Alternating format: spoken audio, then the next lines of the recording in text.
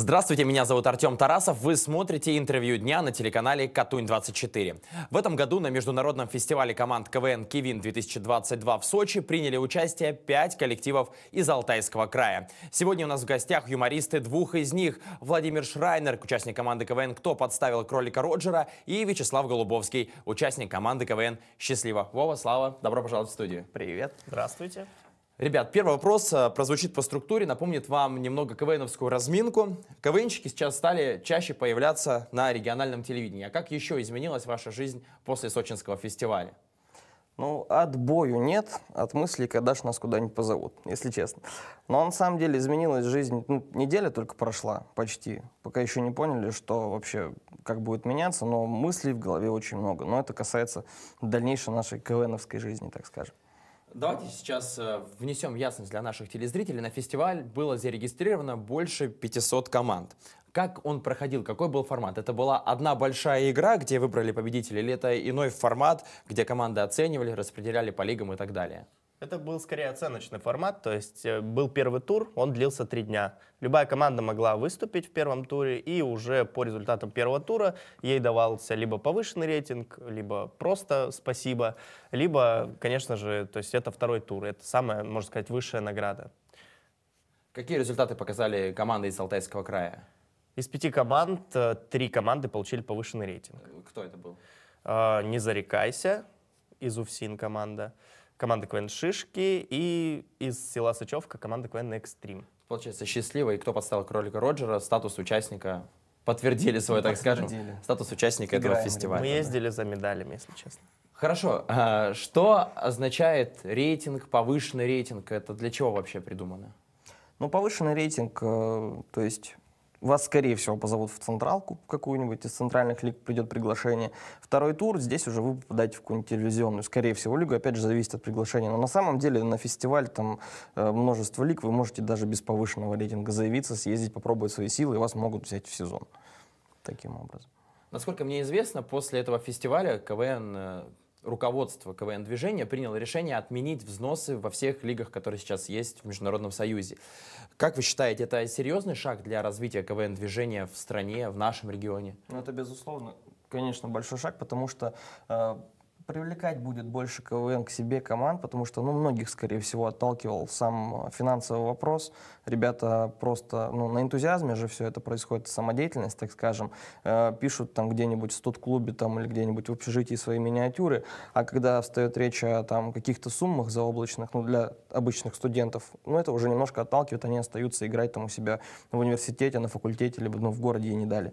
А так как отменили эти взносы, теперь есть э, возможность там просто скопить на билеты где-нибудь там, э, переночевать, скопить эти деньги, да, и выступать. То есть без взносов, ну, уже много легче будет это делать. То есть я правильно понимаю, раньше, чтобы принять участие в официальной центральной лиге, нужно было за это заплатить Да, еще, да? да. А можете примерно в суммах сориентировать, какой был взнос? Ну, смотря какая лига. Чем выше лига, тем больше сумма. А, Знаете, в каждой группе любой команды КВН, ну, которая чего-то более-менее добилась в своем регионе, можно было увидеть любой пост о сборе денег. Это говорило о том, что КВН — это все-таки игра в минус, так скажем. То есть ты с нее не зарабатываешь, даже если ты успешный КВНщик. Потому что были ну, большие взносы. Ну, скажем так, чтобы поиграть, насколько я знаю, а, на Первом канале а, одна игра стоит около 200 тысяч рублей с командой. Ну, как правило, это компенсируют спонсоры, конечно же. Когда ты на телевизоре, у тебя появляется возможность привлекать спонсоров. Но если ты играешь в менее телевизионной лиге, которую ну, нигде не показывают, но она тоже значимая, то там тоже суммы не маленькие, ну, порядка там, а, я думаю, что от 10 тысяч в зависимости от лиги до 100 тысяч вполне они доходят. Ну, про Азию 25 я слышу, что вроде там... Ну, Ближайшая центральная лига к нам, Азия, да, Да, сейчас? да. Да, там 20, по-моему, или 25. То есть Было. Это независимо от проживания, питания, Но это было так. перелета, Сейчас переезда. можно Сейчас- совершенно спокойно. Да. Отсюда и вопрос. Какие дальнейшие планы у ваших команд? Куда планируете ехать играть? Куда вам можно с вашими результатами после Сочинского фестиваля? Да я думаю, что пробовать надо в ту же Азию, на- хотя бы попасть на фестиваль. Вот нашей команде пришло там несколько приглашений, одно из них там в Омской лиге поучаствовать. Омская лига тоже неплохая, но имеется в виду, она не является центральной, это такая же просто официальная лига, которая стала наша сейчас барнаульская. Но несколько команд там попали в премьер-лигу из этой лиги, поэтому ну вот сейчас мы пока в раздумьях думаем, куда нам после фестиваля. Вообще мыслей много сейчас, как дальше будет все это у нас происходить и куда ехать. Ну, в Барнаульской лиге 100% будем принимать участие. Это наша домашняя лига.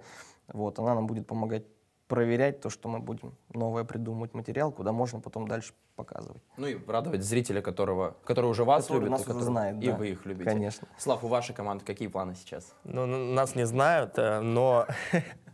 Ну, Рубцовская лига, значит, 100%. Это первостепенная задача. А, Вот, нас там ждут, нас там эти пять человек любят.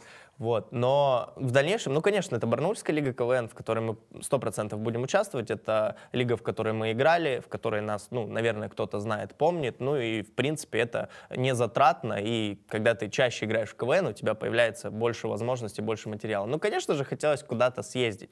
Но я пока не думаю о каких-то центральных лигах, потому что, ну, хотелось бы, наверное, просто в другую региональную лигу съездить. То есть есть Барнаульская региональная, есть, например, ну, условно, не знаю, там, Астраханская, например.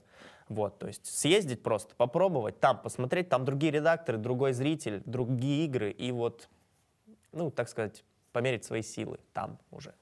Заговорили про другие ли- лиги. На ваш взгляд, на опыт каких ближайших, может быть, не ближайших регионов стоит сейчас равняться? Вот с точки зрения команд, которые достигают каких-то определенных результатов юмора, ну и развития КВН-движения. Сто процентов Кемерово.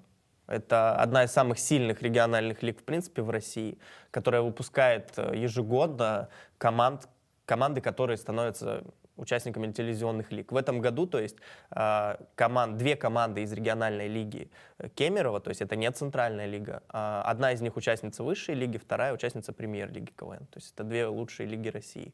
Вот, получается, две команды э, поехали сразу в две телевизионные лиги. Да, они играли до этого очень много, но тем не менее они выходцы как раз вот из региональной лиги Кемерово. Ну, можно Кембридж, все серьезно вспомнить тоже. Кемерово и Красноярск, то есть Центральная Лига Азии, это вот эти регионы, которые вот наши сибирские, которые очень мощно влияют на КВН э, движение в целом, то есть по Сибири, да, и ну, согласен, то, что вот Зеленый чемодан тот же высшую лигу Моя прошел. Да, и с Красноярска тоже несколько команд там попали э, в премьерку. За кого будете болеть в высшей лиге в этом году, кстати говоря? Ну, мы будем топить за наших сибирских за столик. Это сто процентов. Ну, это Чулым, Новосибирская Новосибирская область, да. Ну, и, естественно, любимчики, которые... То есть мы в Сочи очень хорошо познакомились с одним из фронтменов э, команды «Северяне». За «Северян» будем теперь топить. Вот. «Зеленый чемодан» очень понравились, за них тоже будем болеть. Ну, имени меня, естественно, это как Ну, э, да, я буду, импони- мне очень импонирует «Зеленый чемодан», все, что они делают, очень классная команда. Конечно же, «Столик» — это сибирские пацаны, с которыми, ну, мы играли на одной сцене, ну, не один раз, и которых ты видел воочию, и сейчас, ну, хочется посмотреть, что они будут делать в высшей лиге. Ну и, конечно, моя личная любовь — это «Дважды два». Э, Люблю эту команду, посмотрю, как они себя проявят вообще Команда в высшей лиге. Самары, да, Команда из Самары, да, первый раз попали в вышку. Барнаульская лига также на этом фестивале получила статус официальной. Что это дает КВНщикам? Ну, именно если мы говорим о фестивале в, в Сочи, то выступление, м, то есть мы будем себя объявлять как мы участники официальной лиги КВН, выступать не 3, а 3,5 минуты. То есть И вот вот эти это 30 нам- секунд, они важны для КВНщиков? Ну, естественно, важны. То есть э, там жестко тайминг соблюдается э, людьми, то есть редакторами, которые просматривают команды. э, вот. И за эти 30 секунд ну, можно показать те самые две шутки, которые могут твою судьбу КВНовскую решить, э, куда ты дальше попадешь. Поэтому... Ну, плюс, то есть будут конкурсы, которые, насколько я знаю систему, а, лично АМИК отправляет каждой региональной лиге, какие конкурсы должны быть сыграны в сезоне. И эти конкурсы, если это лига официальная, должны будут сыграны и в нашем сезоне. Вот. И интересно посмотреть, как мы, в принципе, как команды справятся с конкурсами, которых, возможно, раньше не было. Ну, есть обязательная сетка, то есть, если ты играешь в официальной лиге, то есть не два фестиваля, и все, и разошлись, грубо говоря, а то есть это будет структурировано каким-то образом. Ну и, конечно же, это не изменится, но победитель поедет в Сочи. Это такая же система будет. Давайте тогда коротко. Какие ближайшие игры ждут Алтайский край сейчас э, впереди? 19 Рубцовская. Рубцов с лига. 19 числа, 26 Кубок Молдовы избирателей Барнаульской лиги. Мгм. То есть, ну вот, наши команды в этих играх точно будут принимать участие. Хорошо, ребят, желаем вашим командам обязательно успехов. Э, Придем посмотреть на КВН и поболеть за вас. Об успехах барнаульских юмористов на фестивале «Кивин-2022» нам рассказали Владимир Шрайнер, участник команды КВН «Кто подставил кролика Роджера» и Вячеслав Голубовский, участник команды КВН «Счастливо». До новых встреч, дорогие друзья, на телеканале Катунь 24.